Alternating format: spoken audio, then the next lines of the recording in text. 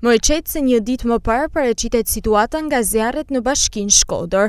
Nga strukturat e emergjencave civile e Bashkia Shkodër, bëhet me dije se kemi tre vatra zjarri aktive, ku dy nga këto që ndodhen në fshatrat Kapre dhe Theth të njësisë administrative Shalë, pjesë e zonave të mbrojtura, të cilat janë në monitorim nga punonjësit e ADZM si banorë të fshatrave përkatës. Vatra në Kapre është e izoluar dhe po mbahet nën kontroll. Vatra e zjarrit në Theth është drejt rënies deri tani edhe atje po punohet për izolimin e saj.